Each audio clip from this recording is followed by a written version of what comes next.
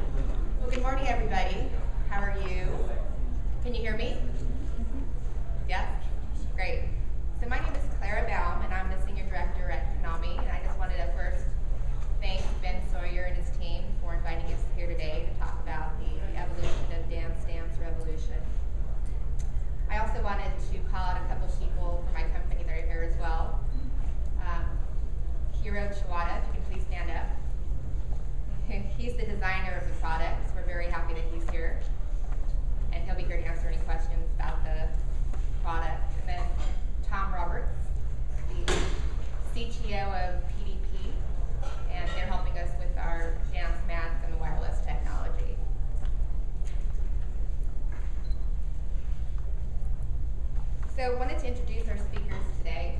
Um, as I said, my name is Claire Baum with Konami. And I'll be giving you a background on Konami and the Dance Dance Revolution franchise. Emily Murphy will share her award-winning work in West Virginia.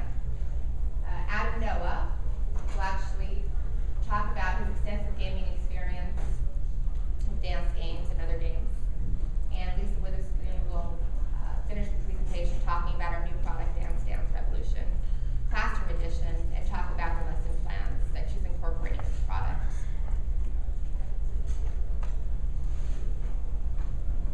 So Ben likes us to share what games we play, as you all know if you've been to conferences here before. So as you can tell, we play a variety of different games, uh, video games as well as social games.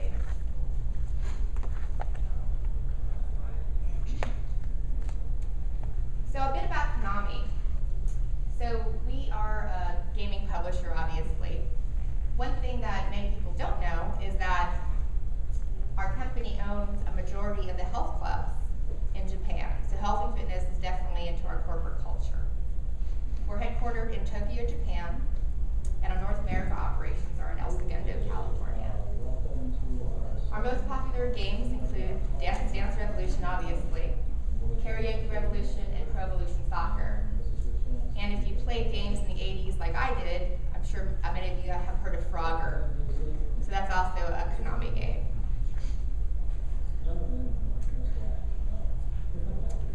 So just to give you a bit of background about Dance Dance Revolution, has everybody heard of the game Dance Dance Revolution in here? Just a show of hands. Yeah, great, great. So one of the first games that actually requires, or that required people to be active, which started the exergaming category. The game was first released in arcades and became so popular that we introduced it into the home markets on systems such as Wii, Xbox, and PlayStation. The game, the, the home-based game actually also has, has a workout mode. So kids can actually track their exercise and their caloric expenditure. And the game is responsible for the for igniting the popularity of the exergaming category. And as of today, sold over 10 million games here in the United States. So next is a video which will give you an overview of our partnership with the President's Council um, and our efforts with the Let's Move organization.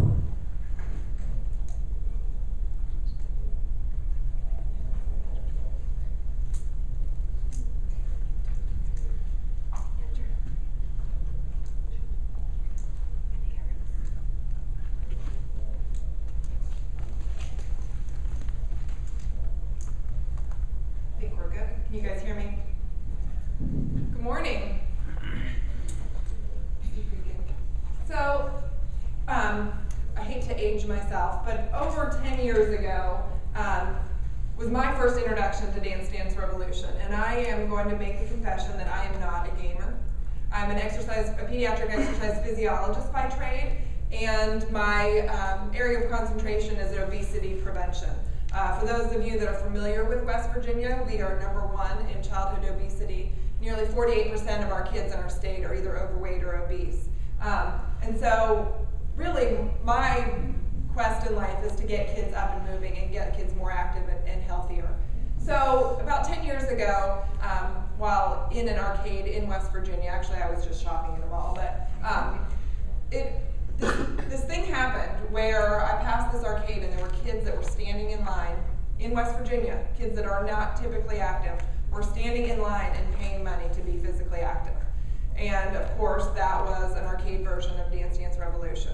So it came to me that how can we use this game to get more kids active? And so um, we actually did a clinical study in West Virginia where we had overweight and obese children from throughout the state use Dance Dance Revolution for 12 weeks in comparison to kids that weren't using DDR. And what we found is not only were they actually did they use DDR, but we had an improvement in health outcomes. So, and those health outcomes included improvements in blood pressure. Um, we saw that the kids didn't in our exercise group didn't lose weight, but compared to the control group who weren't doing DDR, they maintained their weight, while the kids that were not exercising using Dance Dance Revolution continued over a 12 week period to gain six pounds. So for me as a clinician, that, that stall and weight gain with kids is just as important as those kids losing weight. If kids tend to grow into their weight instead of continue to gain weight as they grow is just as important in, the pediatric population. And we also saw um, in those kids who were overweight or obese at, at the beginning of the study, their endothelial function, so that's how well their blood vessels respond to exercise, was actually that of someone that has already type 2 diabetes or, or known heart disease. Their, their blood vessels were not responding to exercise in the way that they should at the beginning of the study. And by the end of the 12 week, they were nearing normal levels. So these are very important health outcomes that we saw using Dance Dance Revolution in this game, uh, or in this study. So um, we actually ended up getting a lot of press uh, for that study, basically because our study was funded by our state insurance company. So they got a lot of negative press that a state insurance company was using a video game to fight obesity in kids in West Virginia. When the, when the findings of the study came out and actually proved that there were health improvements, uh, Good Morning America and several other people, you know, were calling us and saying, you know, can you come in and do a, you know, can we do a story on, on this? And again, it was at the time where exergaming was really starting to be introduced um, with kids. So of course, when we got that press, Clara um, had just joined Konami at that time, I'm pretty sure, and she called us up and said, how can we partner to get this to more kids in West Virginia?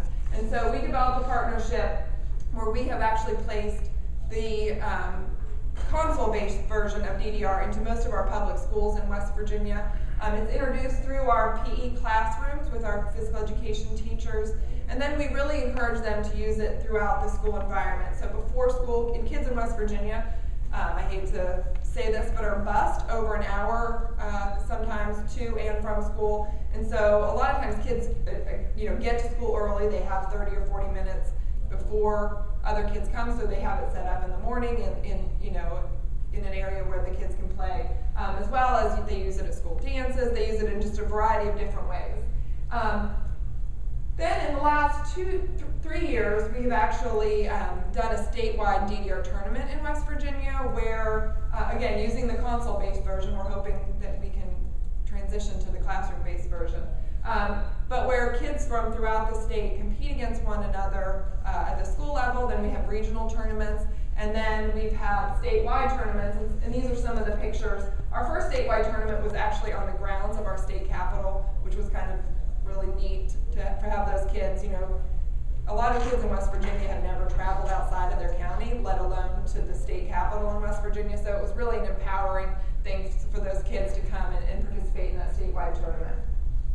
We also held a, a childhood obesity summit last year um, in, in, collaboration with our with our tournament, uh, just to really bring uh, you know attention to the fact that you know these kids are dealing with these obesity issues, and we all really need to uh, break down silos to start fighting obesity within our state. This just highlights some of the um, the media attention that we got uh, throughout you know our our journey from the clinical study through the through the tournaments, and Clara showed the video of the first lady talking about DDR. Um, as physical inactivity and obesity levels continue to rise in our young people, it has been proposed that a new generation active that new generation active computer and video console games may offer the opportunity to co contribute to young people's energy expenditure during their free time. And I'm sure a lot of you have read that article in Pediatrics. And again, I am an advocate for physical activity. Um, I think that we should just drown kids in opportunities to be physically active. And it's something that we that we make a personal choice about. My personal choice for physical activity is running and walking. I'm not necessarily I do video game or active video games with my kids, my own children, and when we have kids over, you know, from the neighborhood and stuff, I do it as a fun outlet. I don't necessarily do it as part of my exercise routine. But I think that if there's kids that choose that as their exercise routine, we should foster that in children. And the research says just that, that you know there are um, many outcomes that we're seeing from using active games in kids to improve the, the, the health of our children in West Virginia and throughout the nation.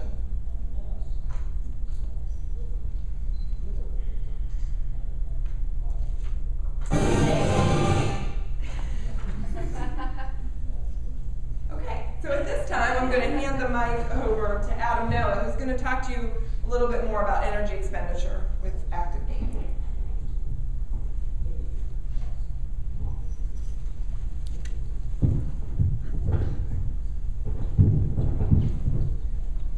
Uh, so uh, my name is Adam Noah, and uh, I'm here from the Adams Center at Long Island University in New York. And so I, I, should probably tell you a little bit about what I actually do Revolution. So years and years and years ago, I, am actually from West Virginia, and I'm from Huntington, West Virginia, which I believe, is the most overweight city in the United States and potentially the world. Um, and so I started playing this game when I, I am a large Japanophile, I guess, and I went to Japan many times, and I was introduced to this in the arcade in Japan. If you, and many of you don't know, the arcades in Japan are like multi-floor things, and they have a whole floor that's dedicated to rhythm type games. And it used to be that you could go to the arcade in Japan, and there would be a hundred of these machines all around, and it, it became a culture, and so people would would play this game, and then they would like build their own personality on top of the dance, and you would pose at the end and do different things. So that's when I was originally introduced to it. I had gone back to West Virginia and noticed that the people in Japan were much thinner than the people in West Virginia. And I thought, well, maybe it's because they're all playing DDR. So I started to play DDR at home. So I had bought the game in Japan and imported it back and learned to read Japanese so that I could read the menu system and whatnot. So I've been playing this for a long time, but the, when I really got into it is when I moved to Canada to do a postdoc. And uh, has anybody ever been north of Toronto? Well, I, I lived in Edmonton for five years in my life, and it is really cold there. And sometimes it gets down to like minus 40 degrees, which it, that the temperature Celsius and Fahrenheit are the same. Um, so you don't go outside and exercise when it's that cold. So I continued to play DDR and I got really interested in it. But the interesting thing that happened is I worked in a spinal cord injury clinic. And so we were training people on a treadmill to walk uh, and using the feedback mechanism of the, the band moving as they walked on it to initiate hip flexion uh, in, in the spinal cord injury patients. And one of the things that I always thought was, well, that looks awfully boring. It definitely helps them. But over time, they plateau in their, their ability to, to um, initiate better movements. And so we sort of devised the idea that, oh, you know, I bet you this game that I'm playing that uh, has you initiate movements in all directions and has a game element that also tells you you're getting better over time would be a perfect tool for rehabilitation. And so uh, my visa expired and I left Canada, moved to the United States, and decided to continue this work uh, at the Adams Center. And rather than do spinal cord injured subjects, because that's you, you need real kind of IRB approval and, and specialty to be able to do that kind of research, we continued this, this thought uh, process in a group of uh, Parkinson's subjects. And I'm going to present to you some of that data here. But along these lines, um, I'm also a neuroscientist, and so my interest in this is to understand how does this game actually get us to be able to use our brain to learn how to do the motions in the game. I assume most of you have actually played DDR. Can anybody play it beyond the light level? Can anybody play it on the expert level? Couple, right? So I want to know how you go from light to heavy, or you know. So I, I want to know what goes on in your brain to be able to pick out the beat to initiate the movements. So we wrote a grant um, uh, from the uh, Health Games Research from Robert Wood Johnson Foundation, and they uh, provided us the money to scan people's brains uh, while uh, playing DDR in a functional magnetic resonance imaging scanner.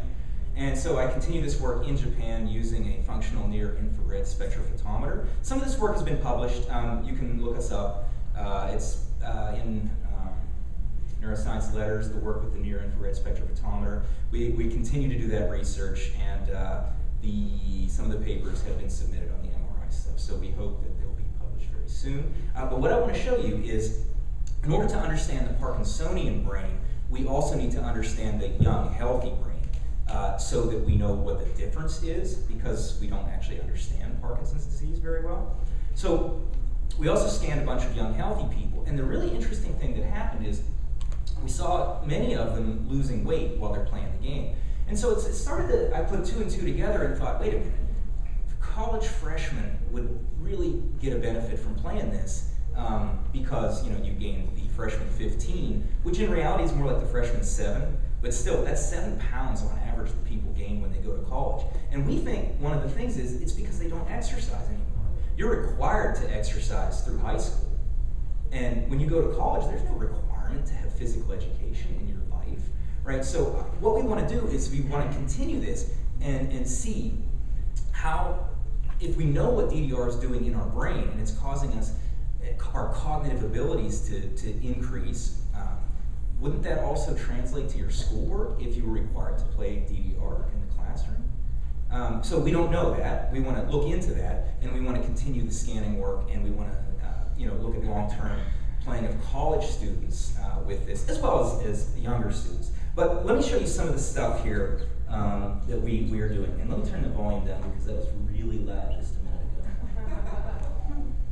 Uh, anyway, so uh, this is the kind of stuff that we're doing. So I built my own multiplayer DDR system, which is uh, built on Stepmania, uh, but I always tell my players you're playing DDR, right? So I want them to know that this is a real game. It's not something that I built or anything. It's just that we needed the multiplayers just because of the time on task. We wanted to train a bunch of people at the same time. And so this is this is just an open source clone of DDR. It's uh, I actually use the DDR Max 2 skin on top of this, so it looks like you're playing DDR. Um, but what you can see is we have multiplayers at the same time. And um, we found some interesting things, but let me play the video for you so you can actually see. So this is this is what playing DDR at the heavy level looks like. And you can see that two of the subjects here are wearing something on them. Those are portable metabolic masks. And so uh, I'm going to show you a little bit of data in a second, but just, I mean, this is this is an easy song. Like with 10 hours of training at the game, 10 hours. That's like one day a week for, you know, a couple of weeks. Or you can play, you know, every day for a week and figure out how to do this. And every kid in who's able-bodied can do this, trust me we get 70 year old Parkinson subjects to be able to do this, and I'm going to show you a video of that. Um, so, anyway, uh, you can see that we became pretty efficient at the game. Um, and this just goes on and on and on. But uh, what, what we also found when we asked the players who had gone through this training program specific questions. Um, and one of the things that we found was that they really liked playing the game in a group as opposed to by themselves. And that encouraged them to kind of play harder and not only try to beat their own score and, and look at their energy expenditure, but they're also, what's this guy doing? Am I, am I as good as him? Am I as good as her? And that funny thing is, is that also works for the Parkinson subjects.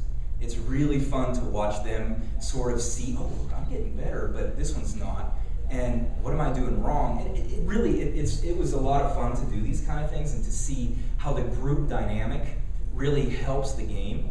And, and so um, they, they really like the competitive aspect of this, as well as the, the working together to support each other, but, but they liked the fact that they were competing against themselves and competing against their friends right? And so even if you weren't as good as your friends, you can see you're getting better over time. And that, that ability there is really why we think this is a, a really good game. Um, and uh, so now this is something else that we've been doing. So it, I, I, was talking about the things that we want to do in, term, in terms of uh, having kids or college students exercise. So we thought, well, there's a whole bunch of these active games right now, and they're being pushed like crazy play this, play that. You're, you know, you're going to do all this exercise. So we measured wearing these metabolic masks a whole bunch of games. These are these are some of the main ones that we looked at, and you'll see that even though DDR has been around for a long, long time, all the new stuff doesn't it doesn't compare. And there's and we have another talk that, that we're going to talk about some of the specifics of what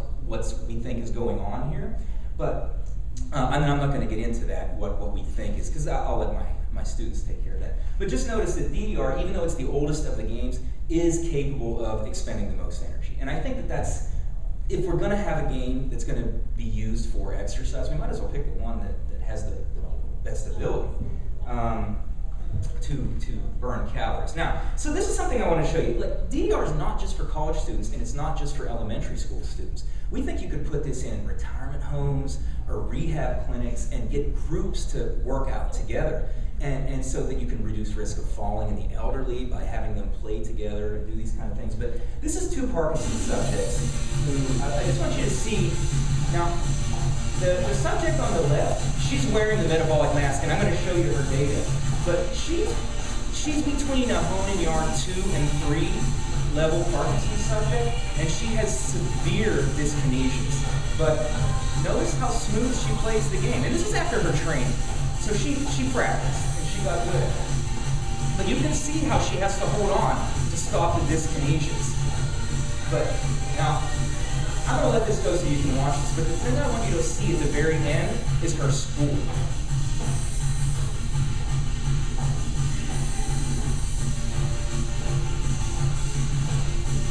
So she looks down because she, she thinks that she's stepping in the wrong spot. She can then go back up to the screen and track the arrows that fast. She's 70, 71 or 70 or 71 years old.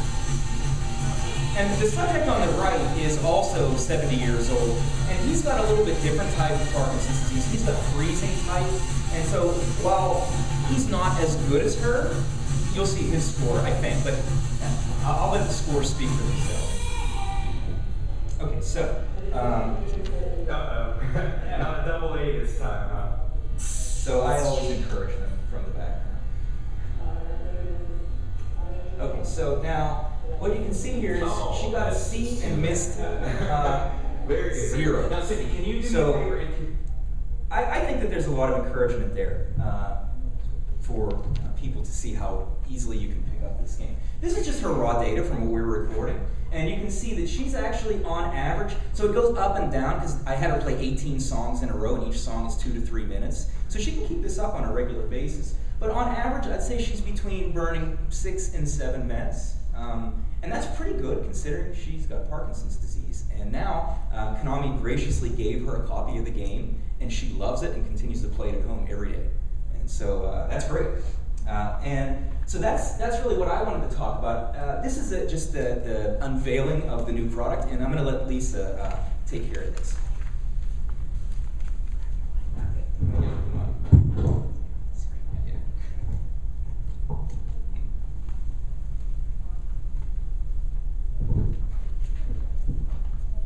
All right, I, it would help if I turned it up a little bit. I'm gonna be talking about, um, the actual product. And, uh, we're gonna start off first here by taking a look at a video. Um, Just click on click on the video.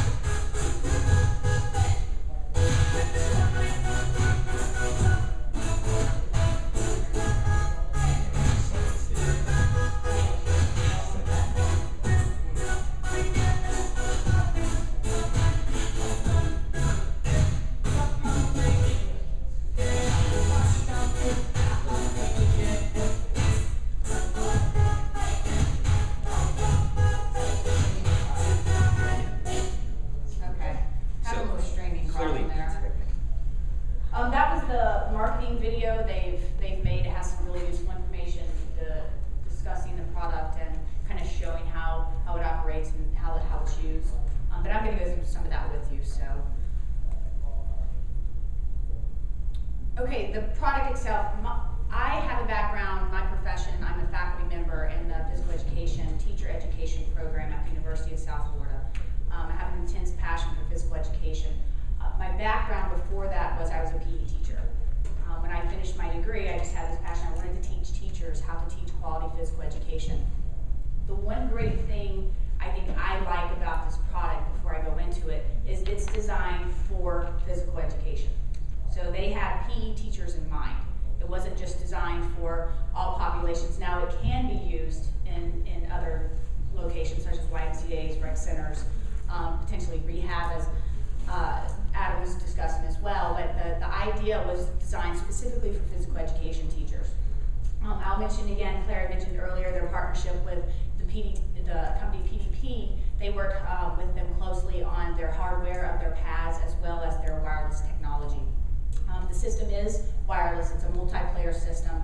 Up to 48 pads can be used. Um, but they have different packages to where, you know, with smaller groups, you're able to start at what I think 12 pads um, is the is the first package.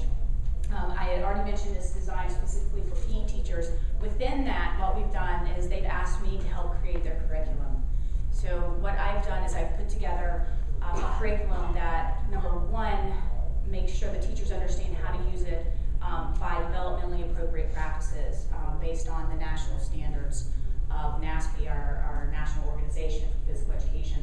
Um, also within the curriculum, we focus on mainly dance and fitness at this point. So there are lesson plan ideas provided for all grade levels to where teachers can get an idea of how to use the, this particular product in an appropriate manner uh, based on content for fitness and for dance.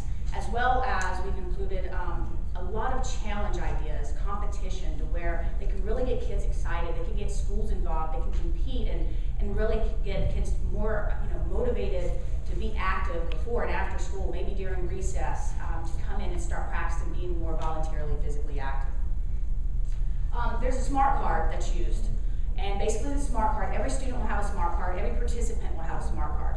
And the smart card will be registered basically to them. So each time they come to play, it doesn't matter what pad they're on, they put their card into the pad, and then it begins tracking, not necessarily the card, but their information is being tracked. So there's an assessment feature to it. So anytime if I got off pad six and I went over to pad eight, I just take my card and I stick it in, and then it continues, I get to continue to keep up with my data, and the teachers can do that as well.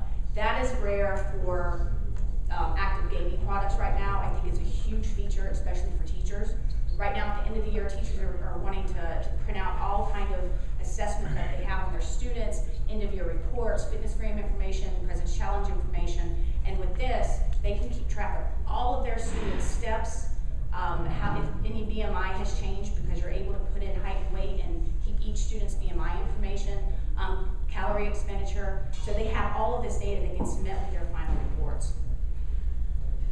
Um, something else we'll talk about as well, which uh, the, the songs that they are using, and I know this was a little bit of a point of contention with uh, the regular version of, of, Dance Dance Revolution, Revolution was the appropriateness of the song. So what um, Konami's done now is they've, they've understood that, and since they're developing it for physical education, they've put together a committee that reviews every single song.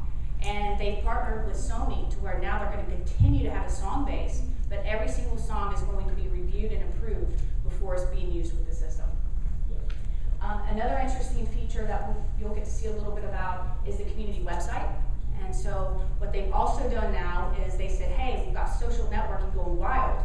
Everyone wants a social community when they've done that. So they're going to have a website to where parents can go into it, teachers can go into it, students can go into it. They can talk with each other. They can, you know, bounce ideas back and forth with each other. They have this whole social community, which also is where the teachers can go in and download the data. They can see the reports of those things.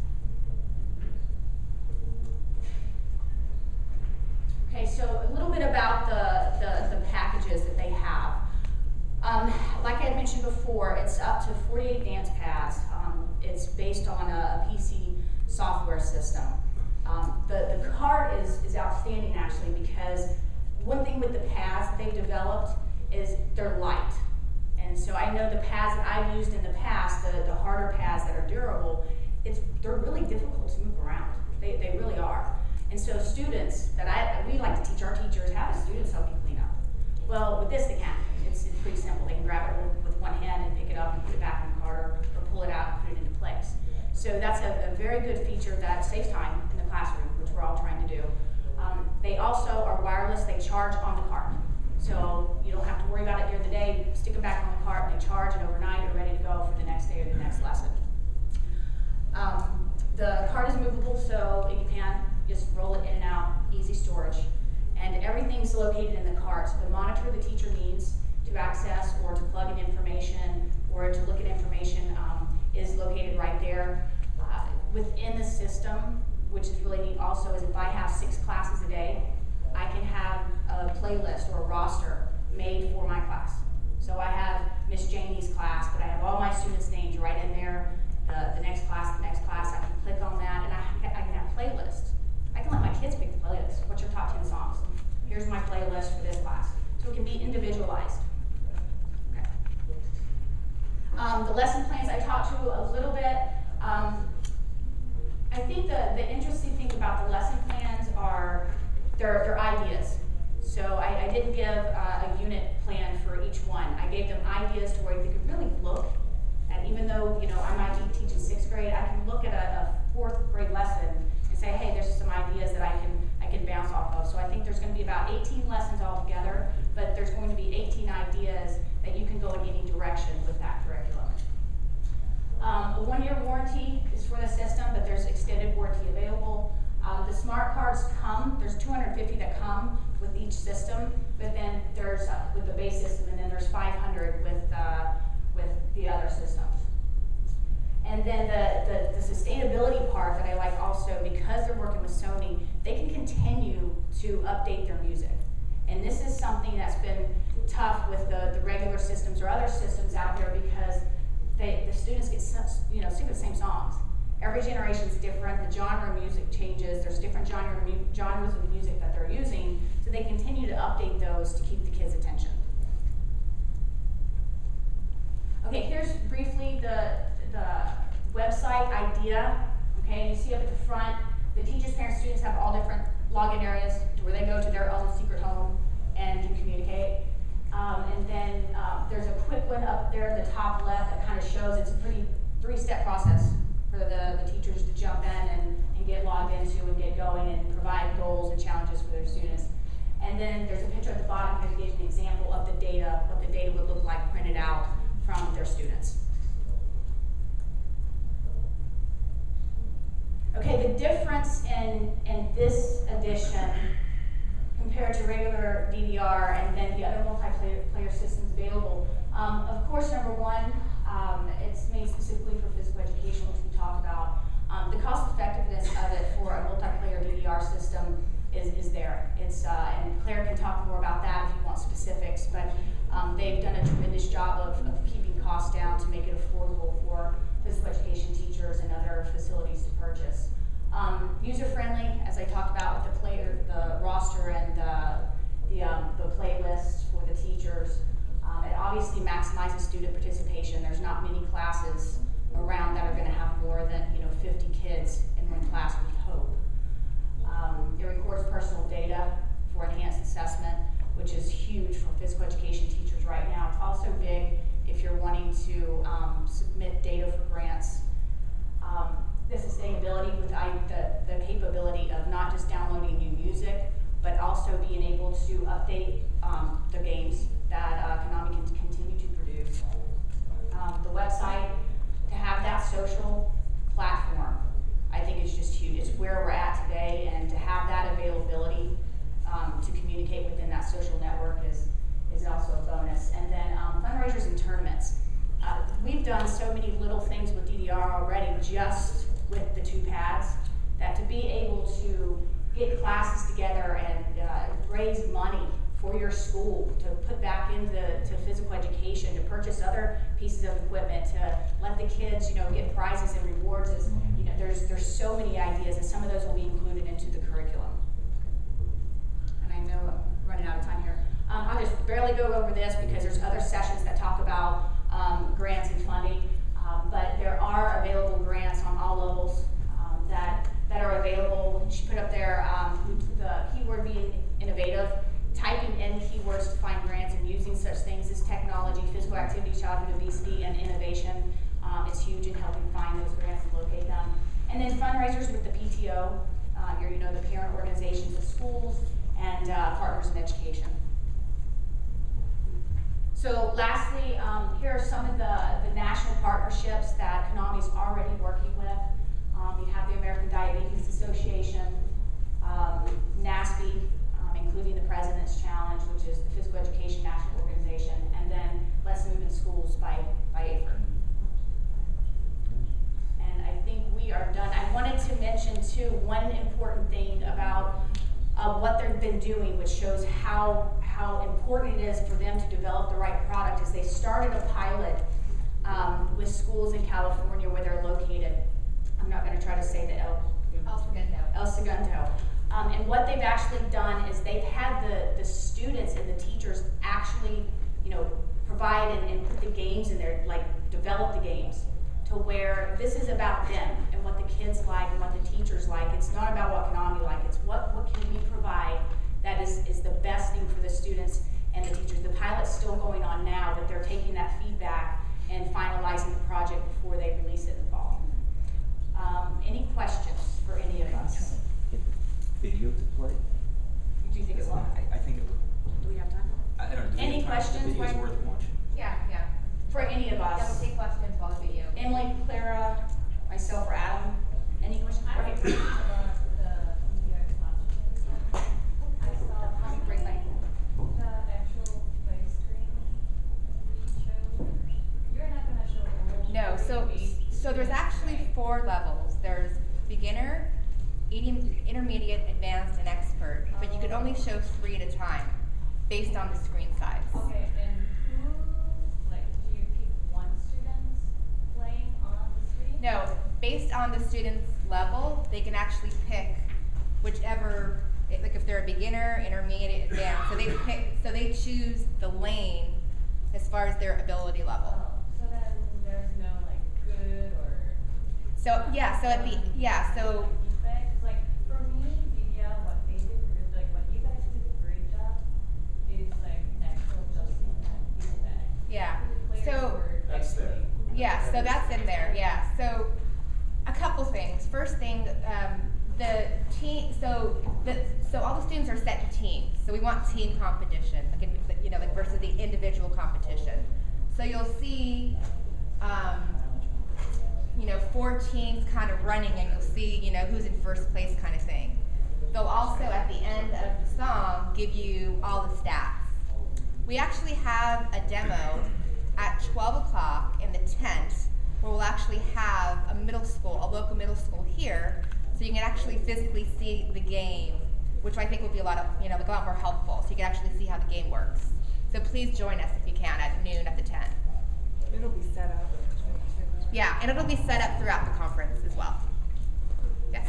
Quick question for Emily. Hey Emily, how you doing? Um, West Virginia is known as the model place for DDR and dance games uh, with the implementation into the schools. So what kind of results have you seen and why, why do you, in your opinion, think it hasn't spread to the other states at a statewide level like West Virginia tried to do? So we had um, West Virginia. I like to say West Virginia is more like I mean it's a it's pretty geographically compact, and you can't go any place in West I mean in West Virginia without knowing somebody. Um, we are a state that really collaborates very well, and so to implement that at a statewide level took multiple partners. So our governor. Uh, actually supported financially getting these into the schools. Our state um, insurance company, as well as Blue Cross Blue Shield in our state. Um, uh, we have a local foundation called the Benedum Foundation that gave a lot of money for us to do this. Our Board of Education was a key partner from the very beginning, and so it was this united effort that got that. And without that partnership, it wouldn't have been able to come to fruition. So, um, and the fact that um, in West Virginia, um, there's not a lot of opportunities for physical activity, so this was seen as a really good thing to, to improve the physical activity environment in our schools. Um, you know, in other cases, that may not be the be the case.